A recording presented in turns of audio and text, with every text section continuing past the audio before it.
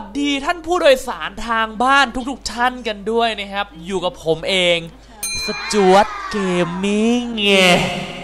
ในวันนี้คุณผู้ชมครับผมนะครับกลับมาเล่นเกมเกมหนึ่งครับผมที่เคยอัดไปแล้วเมื่อประมาณเกือบ 2 ปีที่แล้วเกมเกมนี้มีชื่อว่า Cabin Crew นี่ถือว่าเป็นอีกหนึ่งสุดยอดเกมนะครับ ถ้าเกิดคุณผู้ชมคนไหนที่อยากจะโตขึ้นไปแล้วเป็นสจ๊วตหรือว่าเป็นแอร์โฮสเตสนะครับ เกมเกมนี้เหมาะกับคุณมาก ๆ เลย เพราะว่าเกมเกมนี้นะครับจะเป็นการจำลองถ้าเกิดเรานั้นเป็นสจ๊วตหรือว่าเราเป็นแอร์โฮสเตสเนี่ยเราต้องทำยังไงบ้างบนเครื่องบิน จะต้องเสิร์ฟอาหารให้ผู้โดยสารยังไง จะต้องเอ่อกล่อมผู้โดยสารหลับยังไง ผู้โดยสารปวดขี้คุณผู้ชมควรที่จะต้องแบบเดินไปตบหน้าเขาหรือเปล่า ใช่แล้วคุณผู้ชมครับ สิ่งพวกนี้คุณผู้ชมควรจะต้องเรียนรู้เอาไว้นะครับก่อนที่จะเป็นแอร์โฮสเตสในชีวิตจริงไอ้พี่พี่แล้วมึงจะกลับมาอัดทำไมอีกวะในเมื่อมึงเคยอัดไปแล้วเนี่ยฮะ ที่ผมมาอัดเนี่ยเพราะว่าผมมาดูการเปลี่ยนแปลงของเกมเกมนี้นะครับ ผมเคยอัดไปเมื่อปีครึ่ง ตอนที่เกมมันออกมาใหม่ๆครับผมคอนเทนต์มันจะค่อนข้างที่จะน้อยนะครับ แต่ว่าคราวนี้มันผ่านมาปีครึ่งแล้วไง แล้วก็เกมนี้นั้นมันก็อัปเดตอยู่เรื่อยๆนะครับเนี่ยมันเพิ่งอัปเดตวันที่ 17 ที่ผ่านมานี่เอง ถ้าเกิดผมกลับเข้าไปเล่นอีกรอบหนึ่งผมคิดว่ามันควรที่จะต้องมีคอนเทนต์เพิ่มมากขึ้นละเพราะว่าเกมเกมนี้เป็นเกม simulator ที่ดีมากๆครับผมดีจริง ๆ สำหรับคุณผู้ชมคนไหนที่ยังไม่เคยดูก็ลองย้อนกลับไปดูแล้วกัน และนี่จะเป็นคอนเทนต์ภายในเกมเนี่ยเว้อเว้อจะเห็นได้ว่าเรานั้นเป็นสจวตนะครับเพราะว่าเราเป็นผู้ชายนะแล้วเราสามารถแบบแต่งตัวสุดหล่อเท่ได้เว้ยเราสามารถปลดล็อกชุดเอาก็ได้นะครับโดยที่ชุดพวกนี้ผมเราจะเป็นที่จะต้องใช้สกายบัคมันเป็นค่าเงินนะผมในการซื้อชุด ซึ่งผมนั้นซื้อชุดนี้มาเว้ย200 Skybucks หล่อเท่มากเลยให้ตายเถอะ โดยส่วนตัวผมเป็นคนที่ชื่นชอบบรรยากาศของเกมเกมนี้มากนะครับ เพราะว่ามันดูดูแล้วเนี่ยเหมือนเราไปสนามบินจริง ๆ เลยเว้ย จะเห็นได้ว่าในสนามบินจริงๆนะครับก็จะมีเอ่อ security ที่ยืนเฝ้าหน้าตา very depressed ทั้งคู่นะครับคุณผู้ชม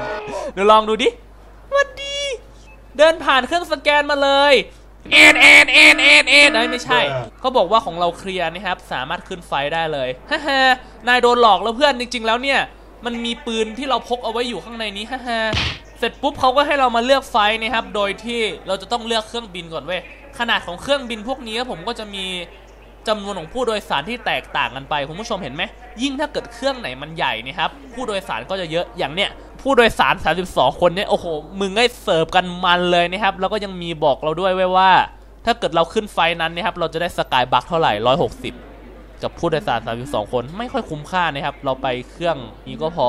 อันต่อไปจะเลือกสถานที่นะครับ เราอยากไปโตเกียว ไปโตเกียวได้ไหม กูเติมซื้อเลยนะครับ ผมจะไปโตเกียวเว้ย อยากไปญี่ปุ่น ใช่แล้ว คุณผู้ชมปีนี้ถ้าเกิดโควิดหาย ผมกะว่าจะไปญี่ปุ่นสักหน่อยนะครับ แล้วผมก็จะไม่ลงคลิปอีกเลยฮ่าเห็นเขาเพิ่มมา emergency chance อะไรสักอย่างหนึ่งนะครับ เหมือนกับว่าจะเพิ่มโอกาสที่เครื่องบินจะขัดข้อง เครื่องบินไฟไหม้ หรือว่าเครื่องบินระเบิดแล้วตายหายกลำอะไรประมาณนี้นะครับ ถือว่าน่าสนใจมากๆ เอาละเรากด start boarding ก่อน เพื่อเป็นการเชิญผู้โดยสารนะครับ มาแล้วผู้โดยสารก็ไปข้างในแล้วโอ้ว้าว แต่ละคนว้าว มาจากไหนกันบ้างเนี่ยว้าวแล้วสิ่งที่มัน cool มากๆนะครับ ตรงปุ่มตรงนี้ครับผมมันจะมีการบอกเรานะครับว่าเราต้องไปทำอะไรบ้าง จริง ๆ ถ้าเกิดคุณผู้ชมดู part แรกมาแล้วคุณผู้ชมก็น่าจะรู้เหมือนกัน แต่ว่าเดี๋ยวผมจะทวนให้อีกสักเล็กสักน้อยนะครับ เราสามารถปรับไฟได้เว้ย โอ้ว้าว เป็นแบบไฟดิสโก้ผู้โดยสารนั่งเต้นมันเลยนะครับแล้วตรงนี้เราสามารถ custom music ได้ด้วยครับผมคุณผู้ชมครับ เอาไว้เปิดให้ผู้โดยสารนั้น นั่งฟังสบายๆจรรโลงใจนะครับ เดี๋ยวแป๊บนึงไปหาเพลงก่อน โอเค เพลงนี้ทางน่าจะเหมาะมากๆนะครับ เพลงเออเสียงกรีดร้องจากวิญญาณ ผู้โดยสารทุกคนพร้อมไหม ถ้าพร้อมแล้วจัดไปเลย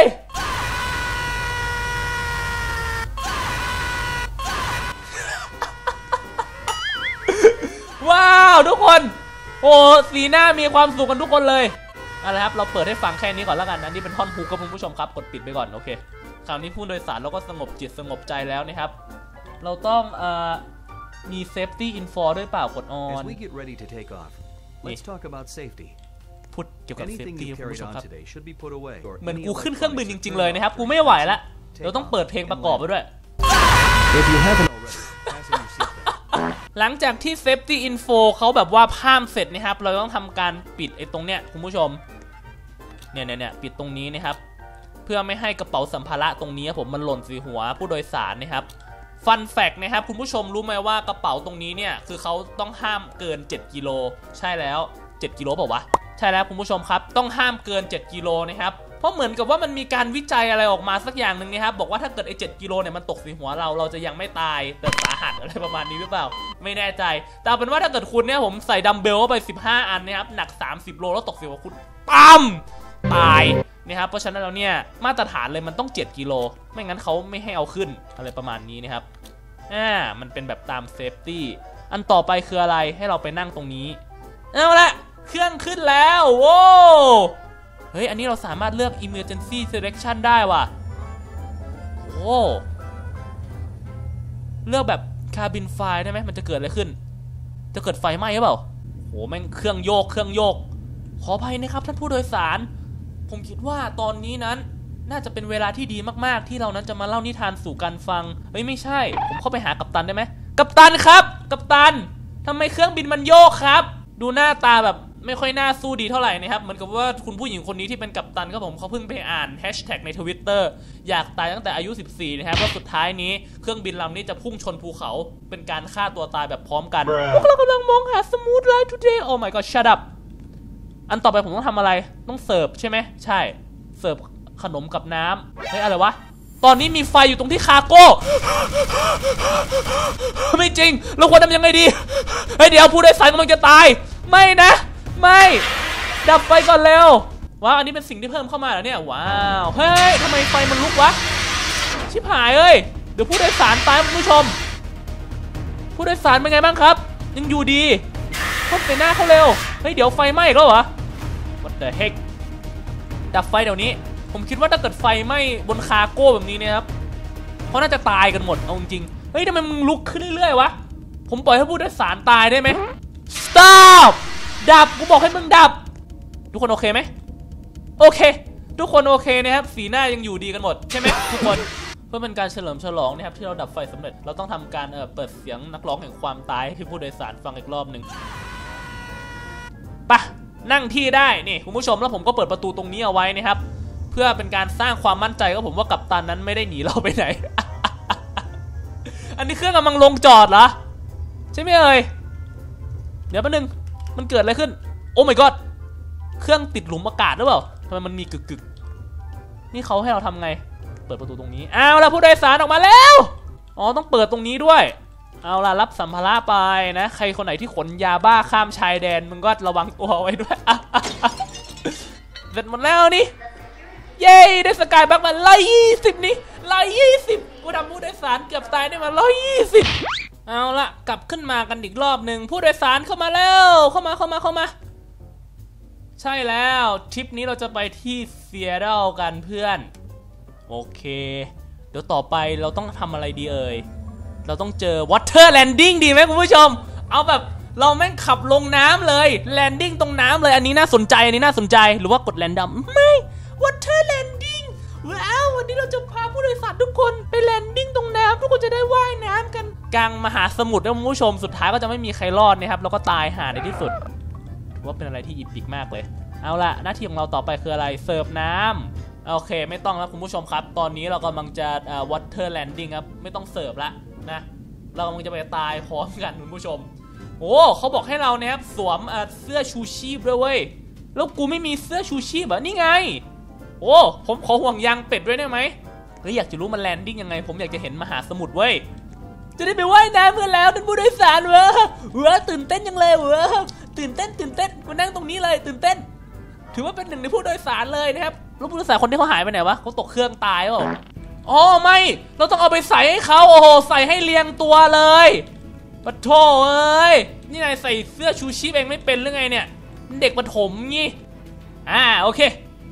จัดไปแลนดิ้งลงน้ำเลยวู้ อุ้ยอุ้ยเกิดการสั่นสะเทือน นี่คือเครื่องมึงลงน้ำเหรอเป็นวัดเครื่องลงน้ำโอ้ my god เดี๋ยวเดี๋ยวตะกี้มันผมซูมออกแล้วผมเห็นน้ำแล้วทำไมไอ้พวกนี้จะตายไม่ไม่ไม่ไม่ไม่ไม่ต้องเปิดประตูเปิดประตู เปิดประตูโอเคตรงนี้เป็นน้ำคุณผู้ชมครับแล้วเราต้องเปิดเอาสัมภาระแล้วคือพวกมึงกำลังจะตายเนี่ยนะเฮ้ย มึงจะเปิดปิดเปิดปิดทำแป้อะไรเนี่ย เดี๋ยวพวกมึงไม่ต้องห่วงสัมภาระกันดิดูดิน้ำมันขึ้นขนาดนี้แล้วไอ้ผู้โดยสารบ้า นี่เป็นหน้าที่กูกูต้องมาเปิดให้พวกมึงทุกอันโอ้ my god dude เพราะเหตุนี้มันเลยจำเป็นที่ต้องมีมัลติเพเยอร์เปล่าเร็ว yes ได้มาแล้ว60บักนะครับ ก็คือตอนนี้ผู้โดยสารที่เขานั่งด้านหลังครับผมน้ำท่วมนะครับผมแล้วเขาตายไปครึ่งลำถือว่าเป็นการประสบความสำเร็จอย่างหนึ่งเลยทีเดียว เฮ้ยตื่นเต้น ตื่นเต้นมากคุณผู้ชม ถ้าเกิดผู้ชมคนไหนอยากจะมาลองเล่นนะครับแล้วก็อยากจะมาแบบฝึกการเป็นสจวตฝึกการเอาตัวรอด แล้วก็ทิ้งผู้โดยสารไว้ด้านหลัง ผู้ชมอย่าลืมที่จะเล่นเกมนี้ครับผมผมแนะนำมากๆเลย